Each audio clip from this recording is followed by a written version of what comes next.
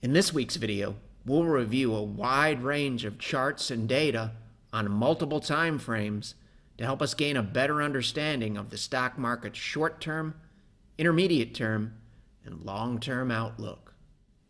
This week's a little bit different. We have two videos posted on our blog, Short Takes. You are currently watching video one of two. The second video can be found by Googling or Binging Ciovacco Short Takes. The first video, or part one, covers charts from this week and for the most part is pure technical analysis. The second video, or part two, focuses on the outlook for the second half of 2020, including probabilistic targets for the stock market for year end. It also provides insight from a probability perspective relative to the five year outlook for stocks. So let's jump right into the charts from part one. In the Friday, April 24th video, we highlighted this quote here. Central banks in the Group 7 countries purchased 1.4 trillion of financial assets in March, nearly 5 times as much as the previous monthly record set in April of 2009. If you know your market history, April of 2009 was a fantastic time from a longer term perspective to be buying stocks. Lower portion of your screen, Linda Raschke. She was profiled in Market Wizards. She's been trading for a long, long time and has a lot of experience. This is how she started her second half outlook video this week. Monetary conditions exert an enormous influence on stock prices. This quote comes from an incredible book that was written in 1970. The Fed is not particularly new on Wall Street relative to its importance. So back in April, we said we should keep an eye on this and respect it. The Ciovacco Capital mid-year perspective video for StockCharts.com focuses on what's transpired since April of 2020 and provides some insight from a probability perspective what the remainder of 2020 might look like. And last week, we covered seven signs in the stock market and economy that told us to keep an open mind about better than expected outcomes walking forward. Therefore, it might be helpful to ask and answer Do we have any concerning shifts this week that seriously contradict all of the information and studies that we've been covering over the past few weeks and months? NASDAQ had an ugly reversal earlier this week, the type of reversal that tells us to pay closer attention. However, this uptrend is still firmly intact still above this area here, lots of potential support before we would say even the intermediate term uptrend would be in jeopardy.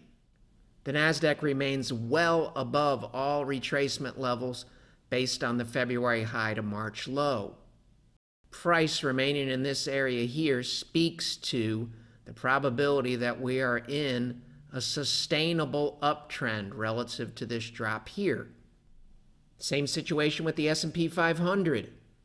We know we're familiar with the concept the market needs to consolidate its gains. Well, thus far, we've been moving sideways and consolidating these gains, and we've been doing it the entire time on a closing basis above the 61.8% retracement.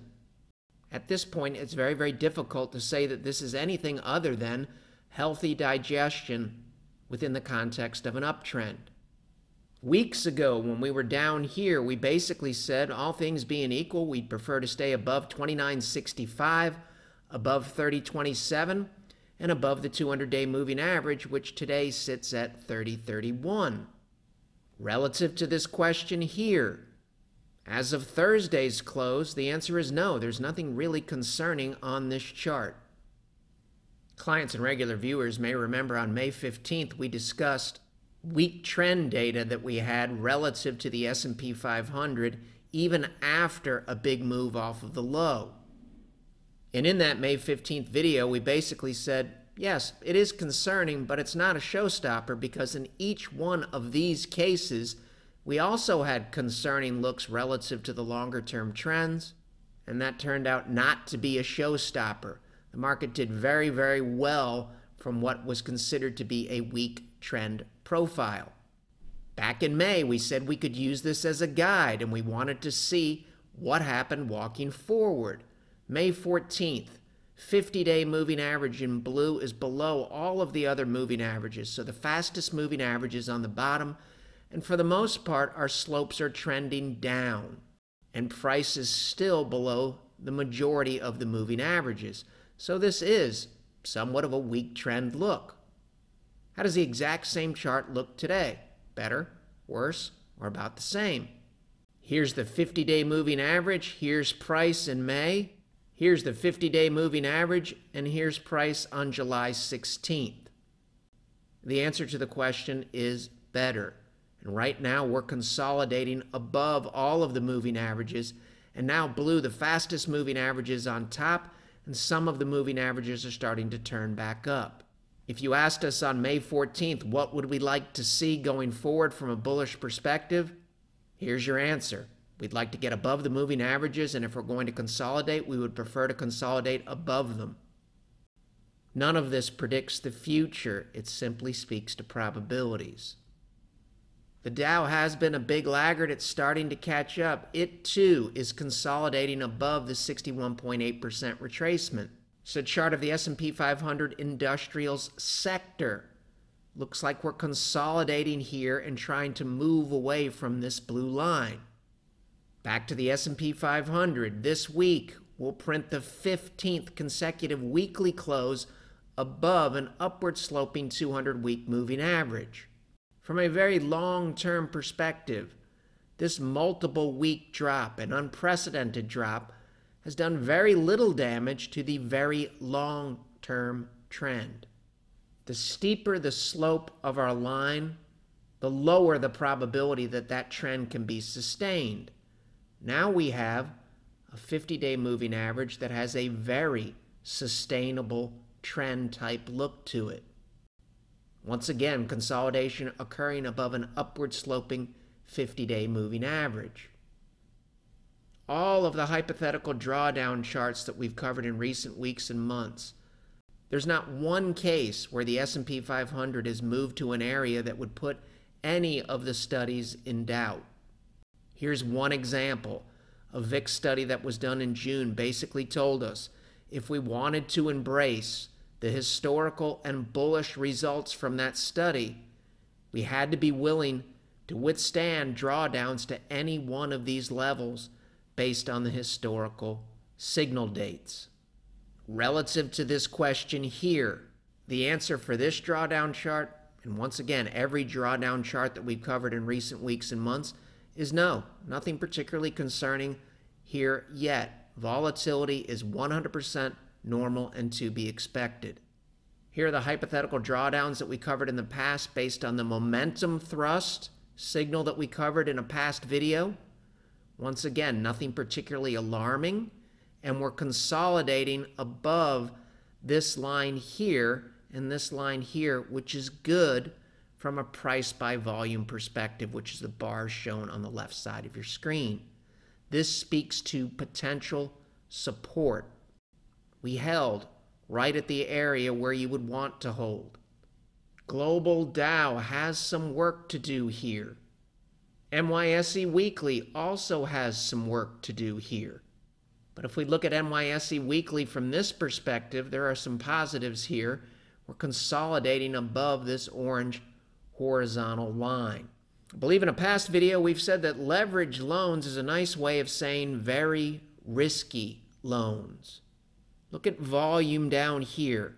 A big move. The market needs to consolidate its gains. We've been consolidating, and we've been consolidating above this area here. And all of this consolidation is occurring above the 61.8% retracement, which thus far is a common theme in multiple markets. Here's the major low in the S&P 500 in 2009, right in here is where a lot of our studies would say the present day is somewhat similar to from a data-based perspective. If we move up here, this is where the VIX is in that area. It is a little bit lower here, but it is in a similar area to where we are today. It's also fair to say this looks a little bit better in here than we do in the present day. And that helps us keep an open mind about 100% normal and to be expected drawdowns that can occur within the context of a bullish trend. Momentum thrust studies said we could drop below 2,800 and still remain on a bullish path relative to history. Wouldn't be shocking at all if the market wanted to backtrack near 2,900 as well. Not a prediction, it just helps us keep a level head and have some reference points if the market decides to go backwards. Is silver on our radar? The answer is yes, everything's on our radar.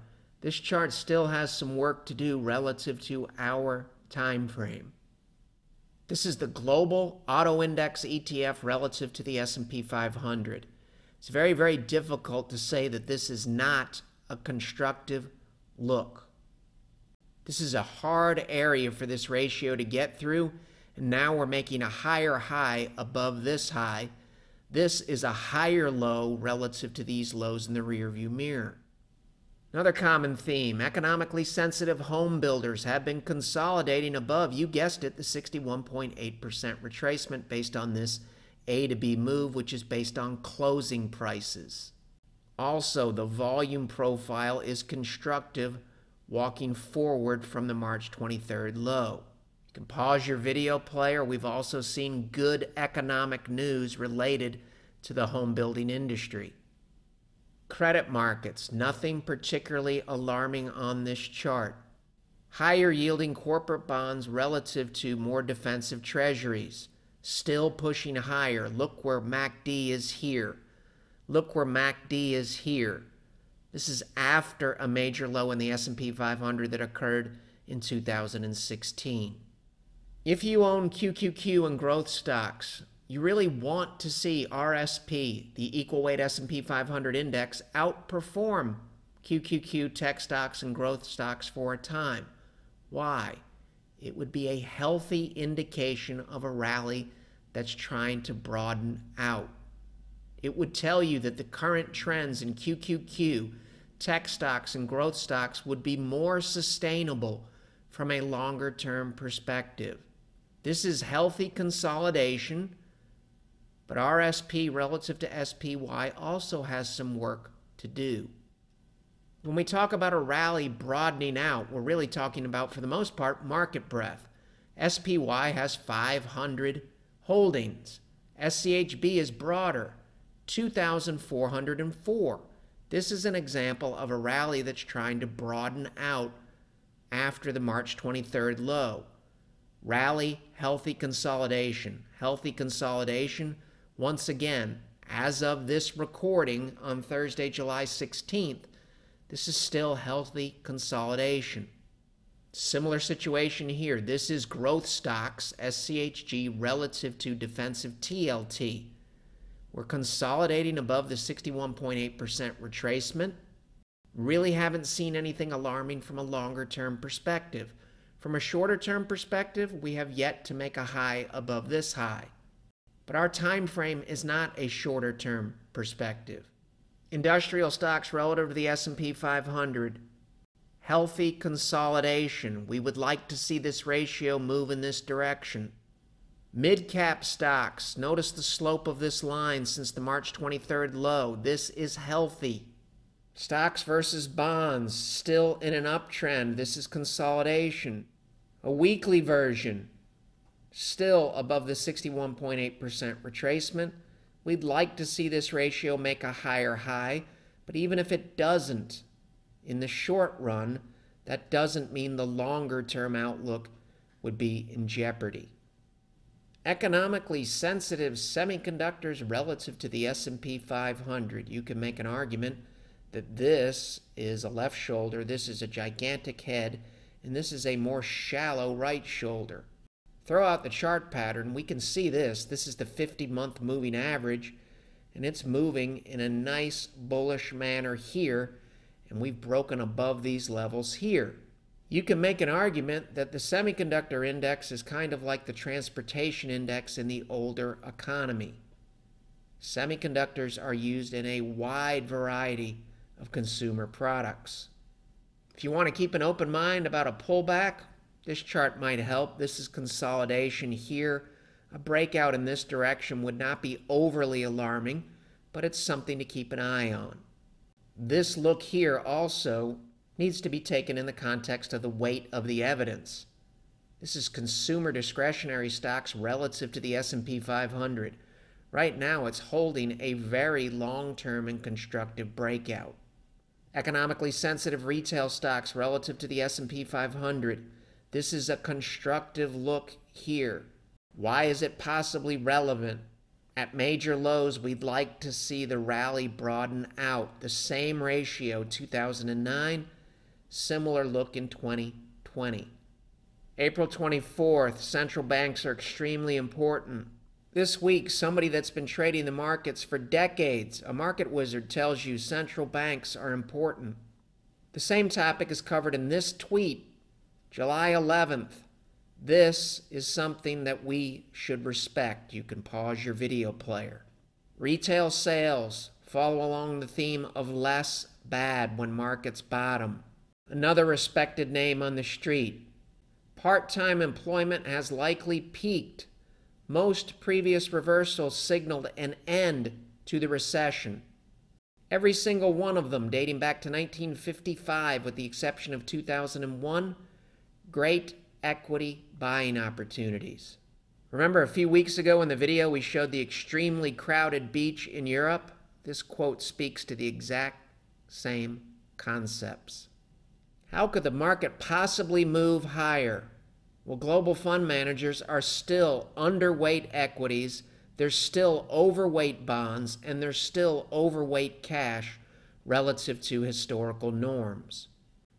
Overweights include defensive staples, defensive bonds, defensive cash, and defensive health care. Underweights include growth oriented industrials, banks, materials, stocks in general, the United Kingdom, and energy stocks. Here's the source of these tweets. Here's the Twitter handle, upper left hand corner of the screen. Relative to history, capacity utilization is telling us that the recession might already be over. That all sounds great. What happens if the Democrats sweep in November? History emphatically says that is not a showstopper when viewed in isolation. These are S&P 500 returns when the Democrats control the White House and Congress. Median annual gain 15.6%, 83% of the years positive. Everything that we've talked about in this week's video speaks to the chart in front of us. We're assessing probabilities based on the facts in hand. And as we will outline in what I will refer to as part two of this week's video, there are reasons to be optimistic about the stock market between now and year end, and there are reasons to be optimistic about the stock market over the next one to five years.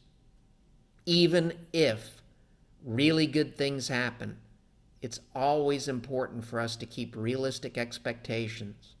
There is no free lunch in the stock market.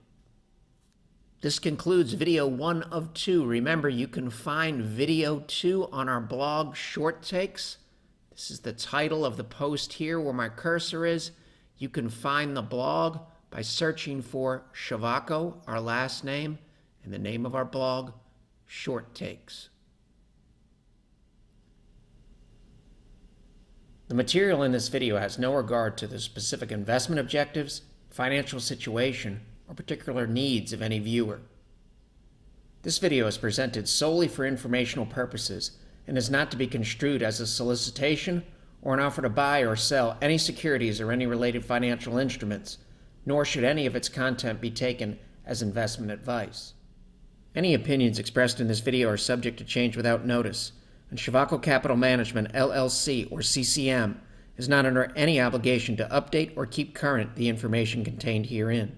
CCM and its respective officers and associates or clients may have an interest in the securities or derivatives of any entities referred to in this material. CCM accepts no liability whatsoever for any loss or damage of any kind arising out of the use of all or any part of this material. We recommend that you consult with a licensed and qualified professional before making any investment decision.